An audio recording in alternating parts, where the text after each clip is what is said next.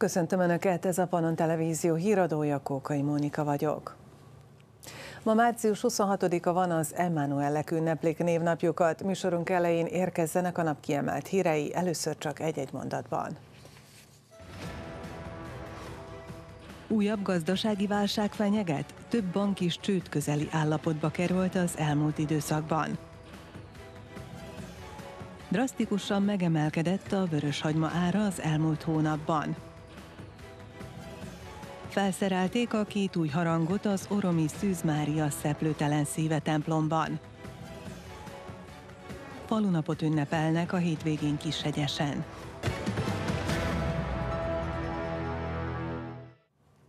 Egyre többet találgat a sajtó arról, hogy bekövetkezhet-e egy újabb a 2008-as pénzügyi világválsághoz hasonló krízis a közeljövőben. Bankok mentek csődbe Amerikában, egy svájci bank is a tönk szélére került. Kérdés, hogy a gondok begyűrűzhetnek-e Szerbiába is. A szakértők többsége szerint nem fog megismétlődni a 15 évvel ezelőtti krízis.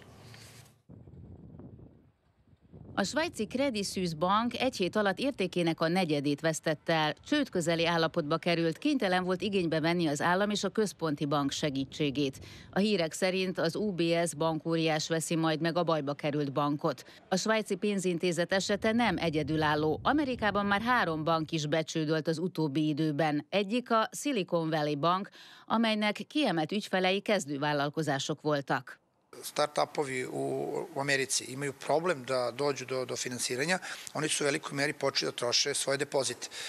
S te strane je ova banka se onda našla u problemu nelikvidnosti, što je rezultiralo da veliki broj njenih korisnika krajem prošle nedelje pokuša da dođe do svojih sestava i onda je ona morala da proglasi bankrotstvo. Egyesek szerint az európai bankok jelenlegi helyzete nem hasonlítható össze a 2008-as pénzügyi válság helyzettel. Nem mindenki vélekedik ugyanígy. Van, aki szerint túl magas az infláció, ennek pedig sokan megfizetik majd az árát. Ovo je samo početak, nije to ni prva ni poslednja banka koja će otići po led. Neminovno je da dosta finansijskih institucija udare u zid. Da li će kriza biti kao 2008. koje svi pitaju, ne znamo. Ali ako se inflacija nastavi, kao što mislim da će ove godine inflacija biti i dalje na visokom nivou, da vidjet ćemo sve više i više bankrota u finansijskom sistemu. Mások szerint a 2008-as pénzügyi válság nem történhet meg újra. Tanultunk a hibáinkból, ugyanakkor mindig ott van az emberi tényező. Psihologija ovdje ima veliku ulogu. Znači, vi ako vidite da banka ima neki problem, imate način da rešite taj problem, potrebno vam je vreme. Međutim, ako postoji strah i panika i brzo se povlače depoziti, nemate vremena. To se ovde desilo. Znači, da su imali vremena, verovatno bi naše rešenje, verovatno ne bi došlo do zatvaranja banke. Az Európai Központi Bank már jelezte, hogy kész hitelekkel segíteni az eurozóna bankjait, ha mégis szükségük lenne rá. Még nem kellett tüzet oltani. Za sada nemamo indicije da će ovo uopšte imati neku značajnijeg uticaja na situaciju u Americi, da će se preslikati na, na Evropu i Srbiju. Ostaje da vidimo, strukturna situacija je mnogo drugačija nego 2008. godine i zato sam optimista da će ovo ostati na neki način zadržano okvirima jednog tehnološkog sektora u Americi. Az Európai Központi Bank egyébként igyekszik hatni a pénzügyi és gazdasági folyamatokra. Az európai országok inflációval küzdenek, ezzel ellen pedig az Európai Jegybank lépése emelte a banki betétek kamatát. Arra lehet számítani, hogy az év folyamán lesz még kamatemelés, és a kamat eléri majd a 3,5 százalékot. U borbi protiv, protiv povećanja cena uh, se oštete građani koji su u kreditima. I te referentne kamatne stope su u stvari direktno uticale na to da su građanima krediti skuplji. Ono što mogu da kažem u tom smislu jeste da je da je to, um, ja bih rekao, privremeno karaktera. Sad, privremeno dok se ne stabilizuje situacija. Znači, nije ovo uh, nešto što će, što će dugo trajati, ali svakako je reakcija na turbulentna dešavanja na finanskom tržištu. Februárban 16%-os volt az infláció Szerbiában. Ha ez nem változik, tehát magas marad, várhatóan megint emelni fogják a jegybanki alapkamatot. Ha pedig ez így lesz, akkor drágábbá válhatnak a szerbiai bankhitelek, ugyanakkor a betéteseknek valamivel jobban megéri majd bankban tartani a pénzüket, mint előtte. Teljesen átalakulóban van a világrend. Európán belül egy új blokk van születőben az amerikai Egyesült Államok vezetésével. Szerbia célja, hogy közép-európai nemzetként pozícionálja magát, ezért van egyre közelebbi kapcsolata Magyarországgal. Erről is beszélt a Pink TV reggeli műsorában Szerbia köztársasági elnöke. Alexander Vucic elmondta, az új blokkot Lengyelország, a balti államok és Ukrajna képezik. Hozzájuk csatlakozik még Románia. Így tulajdonképpen egy nagyobb területet kapunk, mint Franciaország. Szavai szerint az elkövetkezőkben külön érdemes figyelemmel követni Amerika, valamint Európa Kínával kapcsolatos viszonyát. Az elnök a tegnapi Orbán Viktor magyar kormányfővel folytatott találkozójáról is beszélt. Elmondta, Rét létrehoz egy stratégiai tanácsot, amely több területen koordinálja majd az együttműködést Magyarországgal, amely immár Szerbia ötödik legnagyobb külkereskedelmi partnere. Szeretünk a rossz dolgokról beszélni, de erről is fontos, mert ez egy fantasztikus dolog, húzta alá az elnök. Drasztikusan megemelkedett a vöröshagyma ára az elmúlt hónapban. A bevásárlóközpontokban kilogrammonként közel 200 dinárt, míg egyes piacokon akár 250-300 dinárt is kérhetnek kilogramjáért. Stábunk a szabadkai piacon annak járt utána, mennyire kell a zsebbe nyúlnia annak, aki vöröshagymát szeretne venni. Nem csak a hagyma, hanem az ára is csípi a szemünket, ugyanis extrém áremelkedést tapasztalhatunk a vöröshagyma esetében a piacokon. A korábbi 70 és 90 dináros ár helyett most kilogrammonként akár 180-200 dinárt is fizetnünk kell. Az árusok szerint a jövőben további emelkedés várható. A szabadkai tejpiacon 170-180 dinárért juthatunk vöröshagymához. Én akartam valamelyik nap venni három kilót, de amikor megláttam az árat, rögtön meggondoltam magamat, és más felett vettem úgy körülbelül, mert túl, túl drága volt. Hát azelőtt utoljára, amikor vettem, akkor 70 dinár volt kilója, most meg 180. Úgyhogy találtam máshol is aprókat, de hát az, az 150 dinár volt. De nagyon drága, na, minden nap drágább és drágább. Vásárolom a piacon a vöröshagymát, de most nagyon-nagyon drága. Nem tudom, hogy miért, és hogy hogy ment fel ennyire az ára, nagyon-nagyon sok. Az árusok szerint a vásárlók többsége az extrém áremelkedés miatt többnyire inkább új hagymát, a most furcsa mód némileg olcsóbb lila hagymát, vagy vörös hagymából az egyfőzéshez éppen elegendő mennyiséget vásárolja meg. Előtte 50-60 dinár volt kilója, meg 80, és aztán meg egyből főszalat 150-60-ra, meg 180-ra. Azt mondják, hogy nincsen tavalyi idő nagyon tönkretette a nap, és arra Kalabián, amerre én is lakok, ott olyan sok hagymát termeltek, és most zöden termelik, de később, mikor szedni kellett, ezt a fajtát nem lett nekik. Nagyon kevés, fele annyi, mint az évekkel ezelőtt. Szerbiában 2022-ben több mint 4100 hektáron 35 ezer tonna vöröshagyma termett, ami az előző évek átlagértéke. A tavalyi időjárás nagyban hozzájárult a termés kieséshez, ami kihatott az árakra is, hangsúlyozta Zsárkó Ilin az újvidéki mezőgazdasági kartanára a szerb közmédiának adott interjújában. Deo crvenog luka koji je izvađen zbog pojave prouzrokovača bolesti je nažalost završio na deponijama, jedan deo u biogas postrojenjima i povećan izvoz pre svega na tržište Rumunije, zatim Bugarske, Makedonije, Albanije i Bosne i Hercegovine i još dodatno smanjilo ponudu na domaćem tržištu. A drasztikus áremelkedést egyebek között a helyi hagymatermesztés területének csökkenése, az eltarthatóság miatti gondok, a túlzott export, valamint a drága importfajták piacon való megjelenése okozta, mondják a szakemberek. Holnaptól kezdve a falugazdász iroda mellett három helyi közösségben is elvégezhetik az e-agrár portálra való bejelentkezést és módosíthatják gazdaságuk adatait a termelők Magyar Kanizsa községben. Oromon, Adorjánon és Martonoson is várják azokat, akik segítséget szeretnének kérni. Itt a titkárok segítenek a gazdáknak, nyilatkozta Bata Erzsébet. A Magyar Kanizsai Gazdakör elnök egyúttal felhívja a tejtermelők figyelmét arra is, hogy a jövő hét folyamán igényelhető már a a tejprémium az első negyedévre, amelyet az állam április 3-ától kezd el folyósítani az állattenyésztőknek hétfőn reggeltől teljes kapacitással fognak dolgozni, termelők bizalommal fordulhatnak hozzájuk, valamint a községházán is kettő községi tisztviselő besegít a három falugazdász lányoknak, ami azt jelenti, hogy összesen nyolcan fognak ezen dolgozni a Kanizsa község területén. Úgy érzem, ez nagy könnyítést fog a termelőknek hozni, nem lesz akkor a várósor.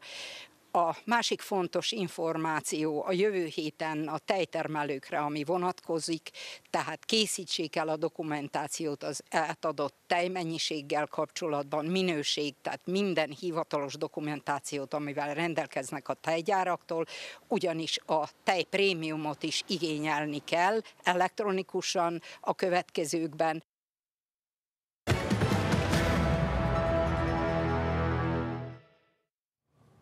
395. napja tart az orosz-ukrán háború, miközben Vladimir Putyin orosz elnök taktikai atomfegyverek állomástostatását jelentette be Fehér Oroszországban, addig Volodymyr Zelenszky ukrán elnök halogatja az ellentámadást, amíg elegendő fegyvert nem kap nyugati szövetségeseitől. A Pentagon szerint viszont semmi jel nem utal arra, hogy Oroszország nukleáris fegyverek bevetésére készülne. A harcok továbbra is folynak Bakmutért, bár Kiev azt állítja, hogy az ukrán csapatoknak sikerült stabilizálniuk a helyzetet. Nézzük, milyen témák lesznek még a híradó második felében. Keresztúti ájtatosság Szabadkán. Két aranyérmet nyerte a szerbiai országos asztali teniszbajnokságon Súrján Szabina.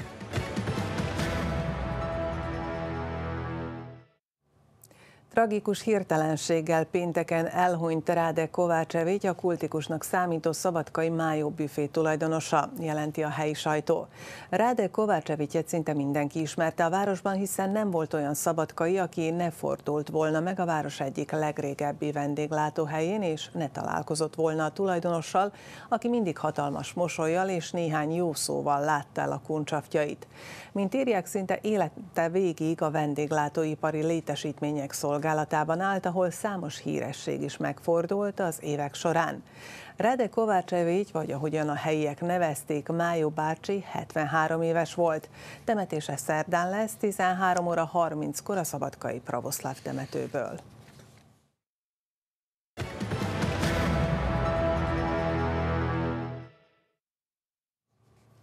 Megszentelték, majd a Szent Misén felszerelték és megszólaltatták a két új harangot az Oromi Szűz Mária Szíve templomban.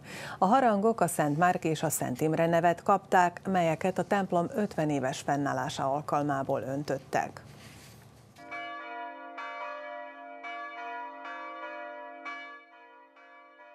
A szombat délutáni ünnepi szentmise végén kondultak meg a harangok, amelyek ezentúl közösen hirdetik a bánatot, a gyászt, az örömöt, az ünnepet, a jeles napokat és a közösség létét a faluban.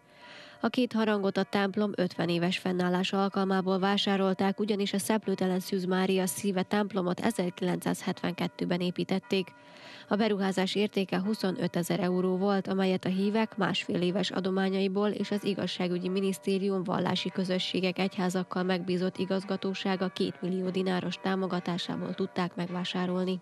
Azt hiszem, hogy minden ember számára bármelyik születésnapja egy mérföldkő, az 50. különösképpen. Fél évszázada, hogy megépült a templomunk, amire büszkék vagyunk, a templom tornya 2003-ban készült el, amely három harangnak ad helyet. Az első harangot, amely 620 kg, akkor fel is szerelték. A két újabb közül a nagyobbik harang 322 kg-os és a Szent Márk nevet viseli, míg a kisebb a 210 kg-os és a Szent Imre Herceg nevet kapta. Maguknak a harangoknak az elkészítése körülbelül 6 hónapot vett igénybe. Ezen kívül még ugye a tervezés, gyártás, egyéb folyamatok, amik tovább tartottak. Maga lényegében a harangok helyreemelése, felszerelése az egy órát vett igénybe. A helyi plébános Utas Jenő atya, aki 45 éve szolgálja a helyi híveket, kiemelte, a lakosok összefogása példaértékű. És együtt öregettem a haranggal, vagyis a templommal, de hát a, a templom az tovább fiatalodik, az ember meg öregszik, viszont az a gyönyörű gondolat, hogy van kire hagyni az utódokra, ilyen élő közösség van, aki képesek ilyen áldozatot hozni, akkor van jövője a közösségünknek. Az ünnepi szentmisét egyébként Fazekas Ferenc, Szabadkai Egyházmegyei kormányzó celebrálta, de ez mellett tiszteletét tette Márko Nikolics, az igazságügyi minisztérium vallásközi kapcsolatokért felelős hivatalának segédigazgatója, és Nyilas Mihály igazságügyi államtitkár is. A keresztúti ájtatosság során Jézus utolsó útjára emlékeznek templomokban vagy Kálvária dombokon. Szabadkán a Zombori úti Kálvárián ezúttal fiatalok mentek végig Jézus utolsó útján mert a keresztút az élet útja is. A keresztúti ájtatosságon a hívők felidézik Jézus keresztútjának történéseit. Végigjárják a stációkat, amely segít átélni és azonosulni a szenvedő Jézussal. Vörös Euridiké minden nagybőjtben igyekszik részt venni a keresztúti ájtatosságon, mint mondja, ilyenkor valamilyen módon egyé tud válni Jézus szenvedésével, és jobban át tudja élni az egész nagybőjtöt. Keresztúton végigjárjuk Jézusnak a szenvedését, ugye 14 stáció van, és 14 állomás, mm, és, és minden ponton megállunk, ezen elmélkedünk, próbál, próbálunk jobban belehelyezkedni ebbe az adott szituációba. Például én most a negyedik állomást olvastam, ahol ugye Jézus az édesanyjával találkozik, Máriával, Itten szintén próbálunk Máriának, illetve Jézusnak a helyzetébe belehelyezkedni, hogy Mária hogyan élte meg ezt a találkozást, ahogy látja, hogy, hogy szenved az ő fia. Jézus a kereszten magára vette az emberiség bűneit, magára vette az egész világ szenvedését, egyesült a mi szenvedésünkkel, mondta el Balcsák Szilárd, a Szabadkai Kisboldogasszony római katolikus plébánia plébánosa. Nagyon komoly kérdés a fiatalok életében, hogy mit kezdenek az életünkben jelentkező szenvedésekkel. A keresztúton erre a nagy kérdésünkre kapunk választ, hogy hogyan oldhatjuk föl az életünkben lévő szenvedést. A keresztút és Jézusnak a példája arra tanít bennünket, hogy ő egyé vált a mi szenvedésünkkel is. Köszönhetjük őt a szenvedésben, egyé válhatunk vele, és ha egyek vagyunk vele az életünk szenvedéseiben, akkor bízhatunk abban, hogy a feltámadásában is egyek leszünk vele, amikor majd az örök életet adja meg nekünk, akik hittünk itt a Földön benne. A Szabadkai Kálvárián egyébként húsvétig több keresztúti ájtatosságot szerveznek. Március 31-én pénteken a Gyertyás keresztúton, április 2-án vasárnap a Családok keresztútján, április 7-én pénteken pedig a Nagypénteki keresztúton vehetnek részt az érdeklődők. Csöndesen némán haladsz, uram. Felújított színházteremben tartották meg a Kishegyesi falunapi ünnepséget. Linka Berec Gabriellának a Kishegyesi Petőfi Sándor Művelődési Egyesület elnökének ítélték idén a Kishegyes díszpolgára címet. Az ünnepség gazdag művelődési műsorral folytatódott. A falu idén ünnepli újratelepítésének 254. évfordulóját. Zsúfolásig megtelt a felújított Kishegyesi Színházterem, a falu apraja nagyja fellépett a színvonalas művelődési műsoron a nagyszülők szülők legnagyobb örömére. A kisfiunk 10 éves, hát már évek óta tagja, évek óta táncol. Nagyon örülünk ilyenkor, hogy megmutatják magukat a, a gyerkőcök, megmutatják, hogy mit tanultak. Ilyenkor mindig megtelik a színházterem, és azt gondolom, hogy ez a mostani, ez egy különleges alkalom, hiszen most most biztos, hogy megtelik, hiszen, hiszen megnézhetjük az új, az új épületet. Hagyományosan a Petőfi Sándor Művelődési Egyesület csoportjai és a település intézményeinek növendékei mutatkoztak be a Művelődési Egyesület szervezésében, mely idén ünnepli 70 éves fennállását. Nagyon örültünk annak, hogy most a színpad deszkáin tudunk fellépni és táncolni, hiszen ez már régen nem volt, ellen már régen nem volt lehetőségünk. Fontos feladatunknak tartjuk azt, hogy a gyerekeknek megtanítsuk azt, hogy a múltból táplálkozni fontos, és csak is így lehet egy egészséges jövőképet kialakítani. Linka Berec Gabriella, a Kishegyesi Petőfi Sándor Művelődési Egyesület elnöke a közösségi és a kulturális élet területén végzett kiemelkedő munkájáért Kishegyes díszpolgára díjban részesült. A helyi életnek legyen tartalmas jelene és tartalmas jövője. Ez a gondolat motiválja munkájában Linka Berec Gabriellát. Hihetetlen sok energiát fölemész, de viszont, hogyha nem csináljuk és nem dolgozunk a közösségén, akkor az közösség szélfolgácsolódik, és el, elvesznek a, a különböző tehetségeink. Nekünk az a dolgunk, hogy, hogy összefogjuk őket, jó irányba vezessük őket. A falunapi ünnepség az első rendezvény, amelyet a felújított színházteremben tartottak meg. Az épületkomplexum teljes körű felújítását Magyarország kormánya támogatja.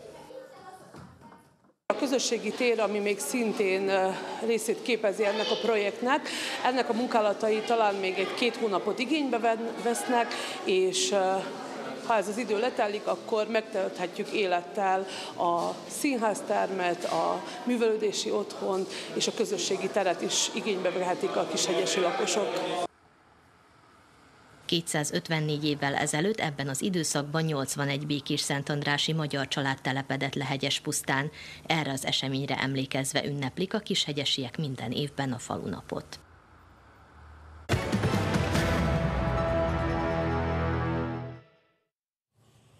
Falunapi birkozó tornát tartottak Kishegyesen az óvodás és általános iskolás korosztály számára. A községbeli gyerekeknek ez az első megmérettetésük. Szabadka és Magyar Kanizsa csapatait látták vendégül. A legkisebbek léphettek először a szőnyegre, hogy összemérjék erejüket és tudásukat a Kishegyesi falunapi birkózó tornán. A Bács-Fekete-hegyi hat éves Nagy Dominik könnyedén megnyerte az első menetet és akkor lebírkoztuk, de kitoltam, én mindig kitolra kezdtem. Miért foglalkozol a birkózással? Jó. Szeretnél profi birkózó lenni? Hát szeretnék, mert meg is akarom nyerni a kupát, díjat, meg mindent. A Kishegyes községbeli gyerekek szeptember óta edzenek, ez az első versenyük. Nagyon izgulok, és nekem ez a versengés, én szeretek versenyzeni. Sokat készültünk rá, sok próba és edzés volt, és vártam ezt a mai napot. A Kishegyes Birkózó Egyesület jelenleg csak nem 50 gyerekkel foglalkozik a község területén. Az edzések ingyenesek a falunapi tornával ösztönözni szeretnék a gyerekeket. Semmi sem motiválóbb a gyerekek számára, amikor megküzdhetnek úgy a saját csapattársaikkal, de másokkal is összemérhetik az erejüket, és pont azért szerveztük ezt a tornát, hogy picit halljanak is rólunk, meg a gyerekeknek is legyen sikerélményük. Fontos iskolán kívüli tartalmakat és kifutási lehetőségeket biztosítani az élsport irányába azoknak, akik tehetséggel rendelkeznek mondta Juhász Bálint, a Kishegyesi Községi Képviselőtestület elnöke. Fontos számunkra, hogy a TSC alközpontja itt működik, és sikeresen működik, és tömeges.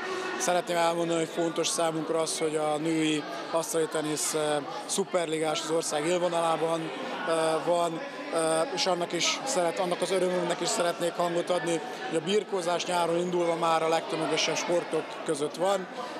Közel száz gyerek megfordult a két településen ebben a klubban. A Vajdasági Birkózó Akadémia és a helyi önkormányzat is támogatja a Kishegyesi klubot. A tehetségek felkutatása a cél, és hogy az akadémián tudjanak tovább tanulni, hogy mielőbb nemzetközi versenyeken is megállják a helyüket mondta Bálint Zoltán, a Vajdasági Birkózó Akadémia ügyvezető igazgatója. Kettős állampolgársággal rendelkező emberek vagyunk legtöbben. Az egyik feladatunk az is, hogy azok a tehetséges kettős állampolgársággal bíró birkózók, akik esetleg lehetőséget kaphatnak a magyar birkózó válogatottba, akár ott is kivegyék részüket a munkába, tehát átköltözzenek az ottani akadémiának, legyenek a tagjai. Összesen 58-an versenyeztek a Kishegyesi falunapi birkózó tornán, közülük 46-an a Kishegyes Birkózó Egyesület tagjai. Két aranyérmet nyert a szerbiai országos asztali teniszbajnokságon Súrján Szabina. A Bácsföldvári játékos egyéniben és párosban is a legjobbnak bizonyult a Szabadkán megszervezett tornán. Párosban Tiana Jokicsal zártak az első helyen. A vasárnapi egyéni döntőben pedig a címvédő Maxuti Anettát tudta 4-1-re legyőzni Surányi Szabina. Nagyon örülök, hogy első lettem, hogy, hogy megnyertem. Nehéz volt az első meccset a Bezegrikával lejátszanom. Jó formában volt. Utána Todorovicsal szintén nem voltam teljesen fejbe ott meccsbe, a meccsben, és utána Zanettával lejátszottunk egy jó meccset, és nagyon szerintem most ebbe a periódusban jó formában vagyok. Eddig tartott a híradó, érkeznek még egyszer a nap kiemelt hírei röviden. Újabb gazdasági válság fenyeget? Több bank is csőd közeli állapotba került az elmúlt időszakban. Drasztikusan megemelkedett a vöröshagyma ára az elmúlt hónapban. Felszerelték a két új harangot az Oromi Szűz Mária szeplőtelen szíve templomban. Falunapot ünnepelnek a hétvégén Kishegyesen.